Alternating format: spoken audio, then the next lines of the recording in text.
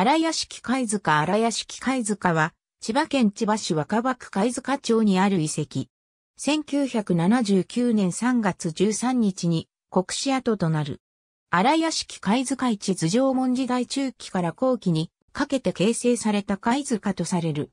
草刈城貝塚や大門貝塚とともに貝塚町貝塚郡に含まれる。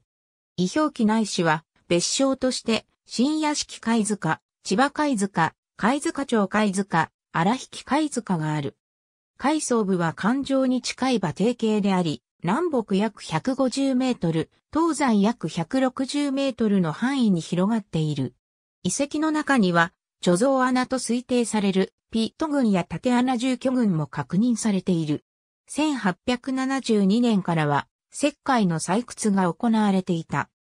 1942年に東京大学が地形測量を行い、1968年には、カソリ貝塚博物館も測量を行っている。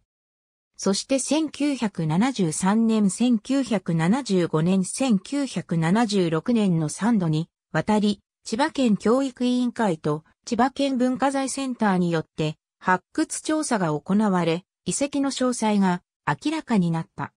なお1964年の京葉道路延伸計画では、路線上に位置したため、トンネル工法によって、貝塚トンネルが建設され、遺跡の保全が図られた。ありがとうございます。